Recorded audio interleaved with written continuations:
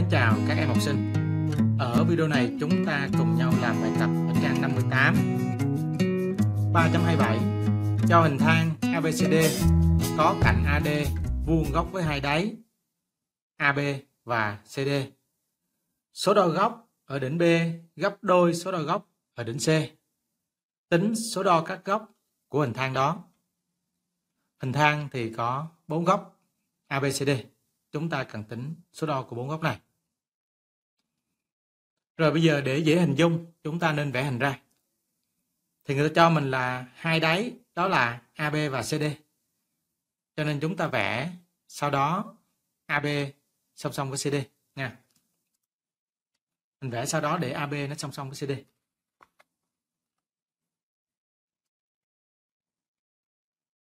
ba chấm hai mươi bảy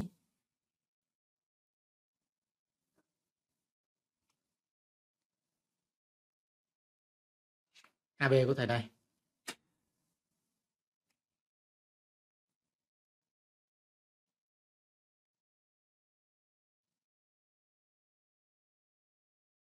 AB thì đây là C, D. Các bạn không được viết là C ở đây, D ở đây nha, không được viết vậy. Mình phải đọc A, B, C, D à, theo một cái vòng. Và AD vuông góc với hai đáy. Đây, AD vuông góc hai đáy này đó thầy cố tình thì vẽ vuông nè. Vuông góc hai đáy để cái hiệu vuông vô. Rồi số đo ở góc số đo góc ở đỉnh B gấp đôi số đo góc ở đỉnh C. Ở đỉnh B gấp đôi đỉnh C. Đây. Góc ở đỉnh B gấp đôi góc ở đỉnh C. Đó vẽ tương đối thôi các bạn. À, vẽ tương đối thôi cũng chưa hẳn là, là, là chính xác là gấp đôi lắm ha mình vẽ tương đối là được. Tính số đo các góc của hình thang đó có nghĩa là chúng ta cần tính góc A bao nhiêu độ góc B bao nhiêu độ góc C bao nhiêu độ góc D bao nhiêu độ. Rồi mình thấy nè người ta cho mình là AD nó vuông góc với hai đáy có nghĩa là AD nó vuông góc với AB vì AD nó vuông góc cho AB. Nè, AD nó vuông góc cho AB. Suy ra góc A bằng 90 độ.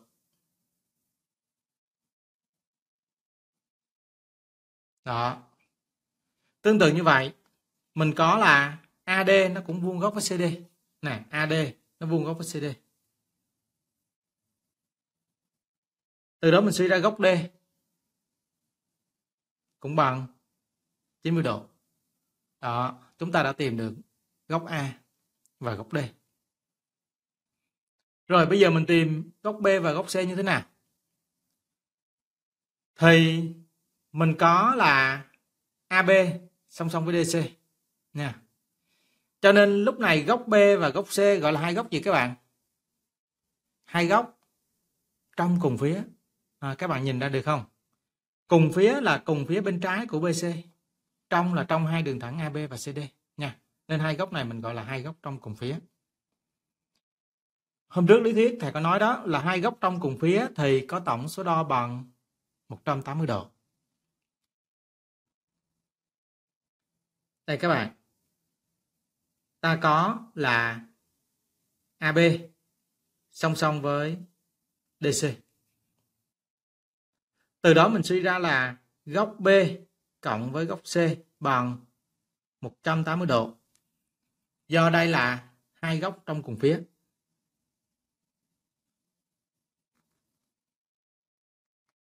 Nha. Hai góc trong cùng phía thì có tổng số đo bằng 180 độ.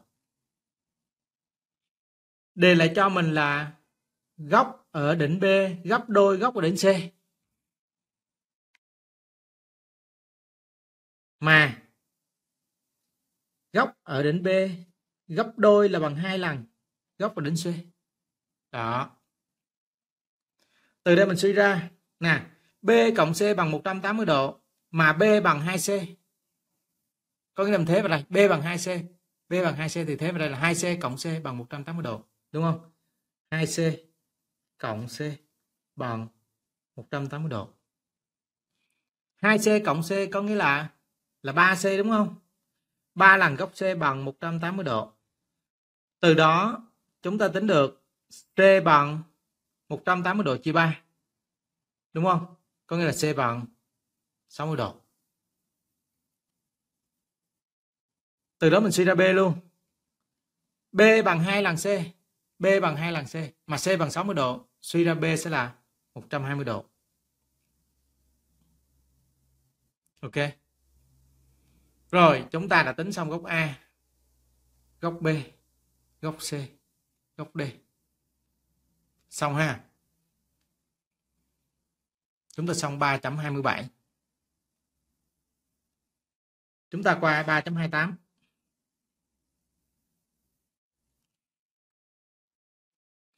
Vẽ hình minh họa và viết giả thiết kết luận của định lý. Hai đường thẳng phân biệt cùng vuông góc với một đường thẳng thứ ba, thì chúng song song với nhau. Vẽ hình. Hai đường thẳng phân biệt.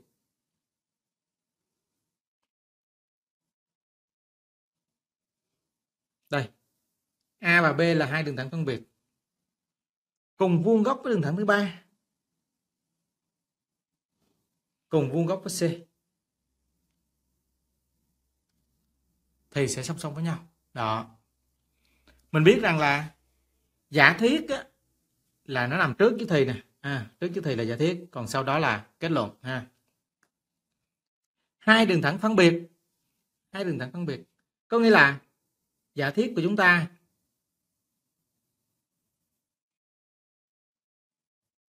là a khác b phân biệt mà. Đó. A khác B. Hai đường thẳng phân biệt cùng vuông góc với một đường thẳng thứ ba. Cùng vuông góc với một đường thẳng thứ ba có nghĩa là A vuông góc với C, B vuông góc với C. A vuông góc với C, B vuông góc với C. Đó. Cùng vuông góc với đường thẳng thứ ba. Kết luận thì chúng song song với nhau. Chúng là ai? Chúng là hai đường thẳng phân biệt đó. Đó là đó là A song song với B. Đó. Chúng là hai đường thẳng phân biệt. A song song với B. Rồi, chúng ta xong 3.28. Chúng ta vừa vẽ hình, ghi giả thiết kết luận. Chúng ta qua 3.29.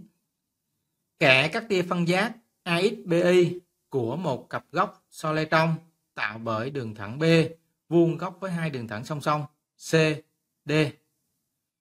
Chứng minh rằng hai tia phân giác đó nằm trên hai đường thẳng song song.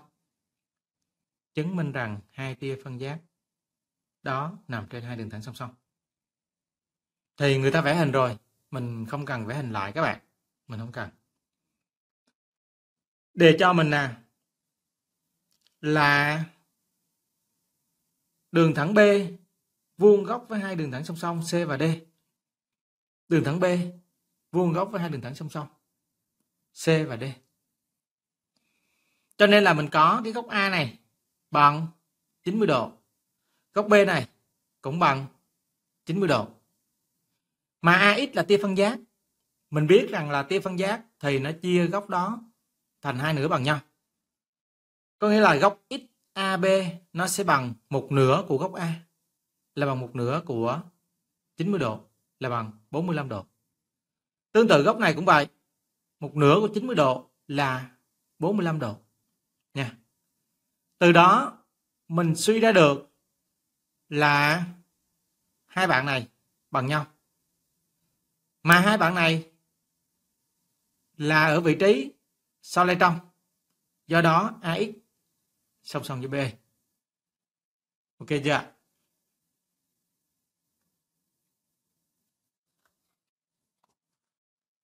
ba chấm hai chín. Ta có mình có là góc x a, b nè góc x a, b góc x a, b góc này sẽ bằng 1 phần 2 của 90 độ bằng 45 độ.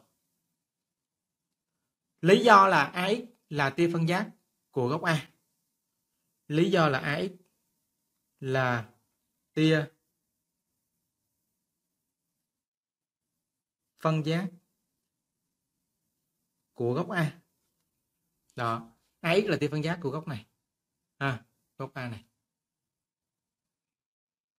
Rồi tương tự như vậy, mình có góc ABI, góc này các bạn. Cũng bằng 1 phần 2 nhân cho 90 độ.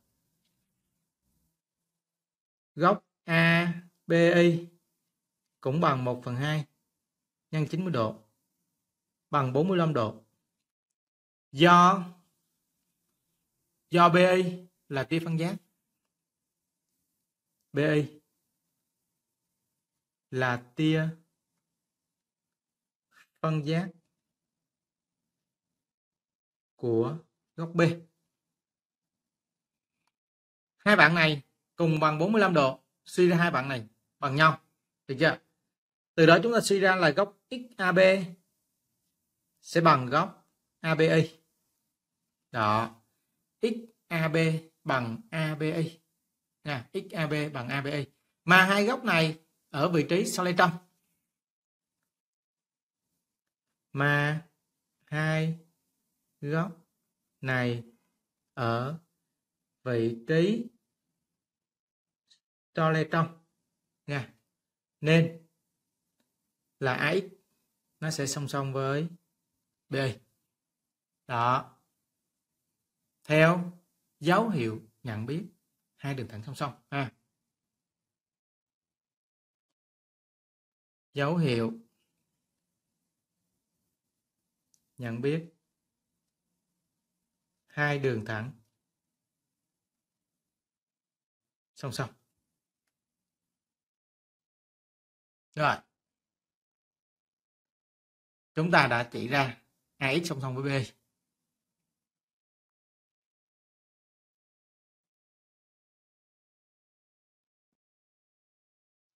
Mình xong 3.29 mình qua 3.30 cho hai đường thẳng phân biệt AB cùng vuông góc với đường thẳng C. D là một đường thẳng khác C và D nó vuông góc với A. Chứng minh rằng A song song với B. C song song với D. B vuông góc với D. Đó, thì những bài này à, chúng ta nên vẽ hình ra các bạn. Nha, mình vẽ hình ra để mình dễ thấy. Đây, cho hai đường thẳng phân biệt AB cùng vuông góc với đường thẳng C. 3.30 cho hai đường thẳng phân biệt AB.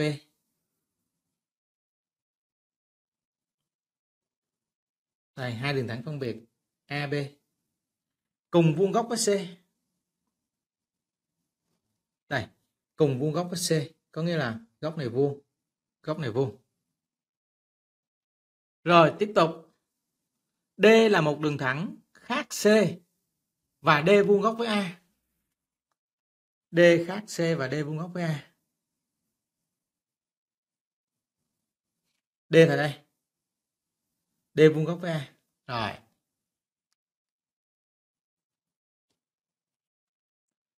Câu A bảo chúng ta chứng minh A song song với B. Câu A mình cần chứng minh A song song với B. Chứng minh sao các bạn? Mình thấy rằng là A nó vuông góc với C mà B nó cũng vuông góc với C. Cho nên A nó sẽ song song với B. Được chưa? hai đường thẳng cùng vuông góc với đường thẳng thứ ba thì sẽ song song với nhau. Ta có A vuông góc với C.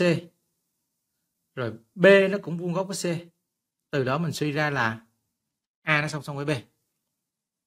Đó, mình xong câu A. Rồi câu B. Câu B là mình cần chỉ ra là C nó song song với D. C nó song song với D mình thấy là C nó vuông góc với A mà D nó cũng vuông góc với A. Cho nên là C nó sẽ song song với D đúng không? Đó làm giống như đây. Mình thấy C nó vuông góc với A này. C nó vuông góc với A. Rồi D nó cũng vuông góc với A. Từ đó mình suy ra là C nó song song với với D. Hai đường thẳng cùng vuông góc với đường thẳng thứ ba thì sẽ song song với nhau. Rồi, câu C thì sao? B nó vuông góc với D. À, B vuông góc với D, có thể chứng minh góc này góc vuông. Mình biết rằng là một đường thẳng vuông góc với một trong hai đường thẳng song song thì sẽ vuông góc với đường thẳng còn lại. Có nghĩa là A nó song song với B. D nó vuông góc với A cho nên D nó cũng sẽ vuông góc với B. A nó song song với B này. Rồi, D nó vuông góc với A này. Cho nên mình suy ra là D nó cũng sẽ vuông góc với B.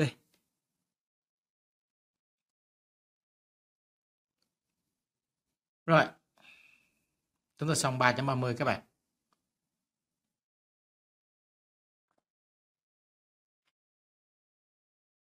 Chúng ta qua 3.31. 3.31 cho hình 3.49 này chứng minh rằng D song song với BC đường thẳng D song song với BC à mình thấy nè, cặp góc xoay trong bằng nhau này cho nên nó song song này ok không? Câu B, chúng ta cần chứng minh D nó vuông góc với AH D nó vuông góc với AH mình thấy là D nó song song với BC mà BC nó vuông góc với AH cho nên D nó cũng sẽ vuông góc với AH được chưa? Đường thẳng vuông góc với một trong hai đường thẳng song song thì nó sẽ vuông góc với đường thẳng còn lại. Có nghĩa là AH nó vuông góc với BC mà BC nó vuông góc với với D. BC nó song song với D. Suy ra AH nó cũng vuông góc với D. Đó. Câu C.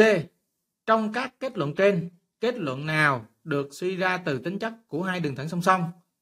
Kết luận nào được suy ra từ dấu hiệu nhận biết hai đường thẳng song song?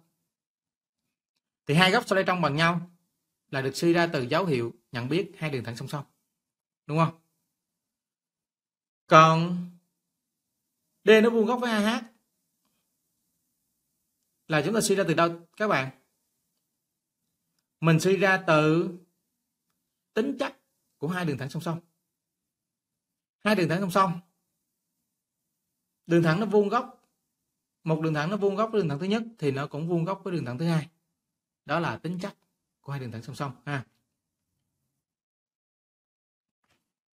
Rồi, bây giờ mình làm vào, ha, câu A. Chúng ta cần chứng minh là D nó song song với BC D song song với BC mình thấy là hai góc xoay trong này bằng nhau này. Đó. Góc DAC ta có góc DAC nó bằng với góc ACB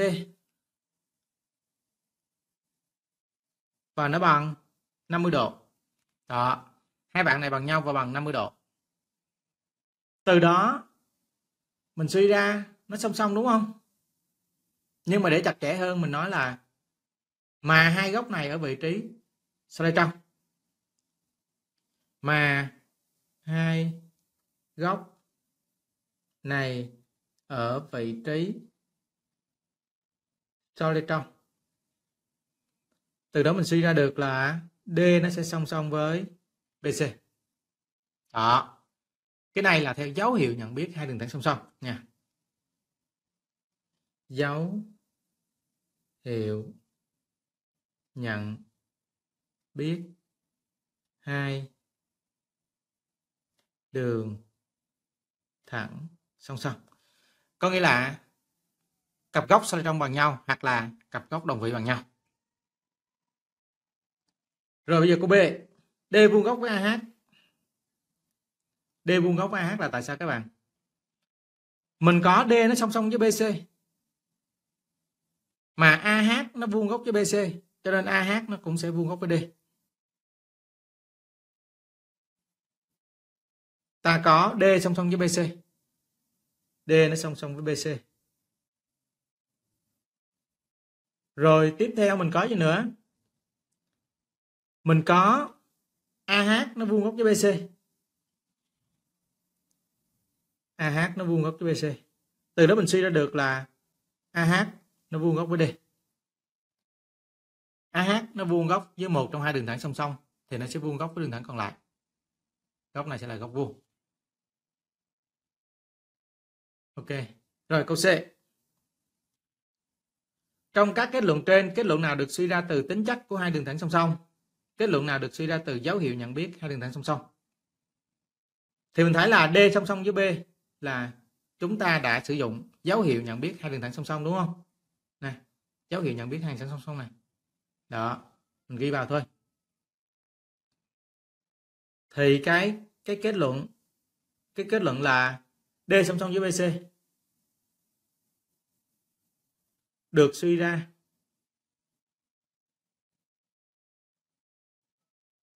Từ dấu hiệu nhận biết, hai đường thẳng song song.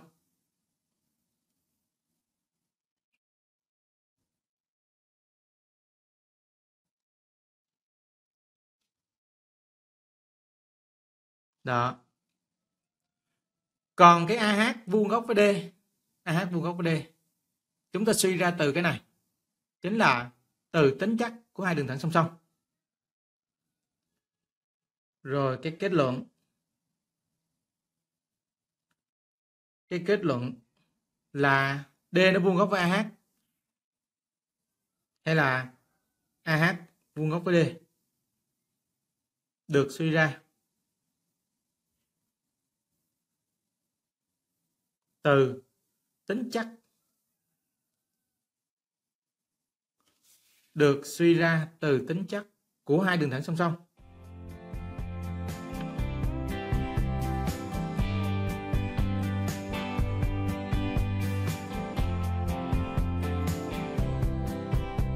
Rồi, chúng ta xong 3.31 các bạn. Rồi, có chỗ nào à, không hiểu các bạn để lại comment. Còn nếu mà thích video này thì nhớ đăng ký để ủng hộ kênh Thầy An. Thầy An hẹn gặp lại các bạn ở video sau các bạn học tốt.